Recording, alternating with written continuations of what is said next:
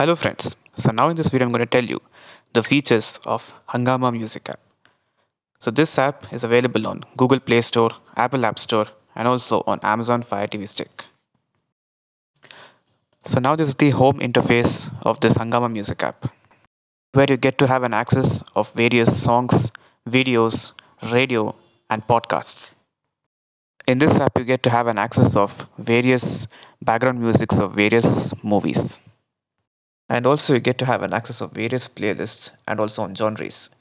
Like top 40 playlist and then superhero showdown playlist. And also the playlists which are on trending. And also you can have an access to various trending artists. And also you can get access to various playlists based on your city. And also you can have an access to various podcasts. When it comes to playlists hungama has a numerous number of playlists to remove ads, you must have a Hungama Pro subscription. Like for 12 months, that is yearly, there's a 44% discount, and after discount, the amount comes to 499 rupees. Then for 3 months, that is quarterly, you will have to pay 269 rupees, and for monthly, it is 99 rupees. And also, there's a good feature in this app to earn coins. By these coins, you can shop with your favorite merchandise. So to earn coins, it's damn simple as you think. So first you will have to register yourself to earn coins.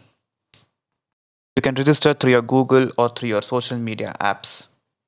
And after registering, you can just stream or listen or watch your favorite songs on Hungama app.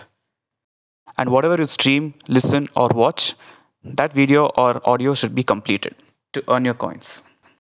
By registering, you can earn 500 coins, while streaming a song 10 coins, while making a playlist 50 coins, if you want to put your favorite song, it's 5 coins. And if you want to watch a music video, it's of 10 coins.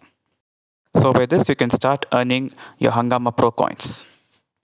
And this is also a cool feature where a music app provides. Unlike other apps, they don't provide any rewards. So next is how you can use those Hungama reward coins. So by this Hungama reward coins, you can use for shopping your favorite merchandise. Like you can buy some earphones or a soundbar or a tripod stand or a wireless earphone.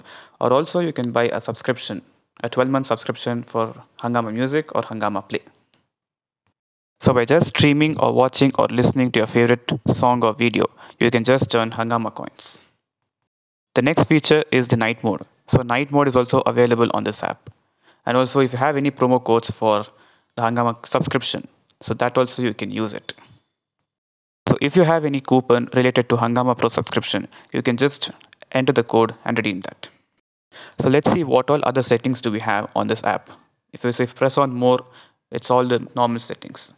And if you go for the settings, it's almost the similar settings you get on every music app. Like audio adjusting, social settings, and other stuffs. So now let's play a song and let's test how the sound quality of this app is. So I'll just put a random song and let's see how the sound quality is. So now I've selected the song and now let's start testing the sound quality.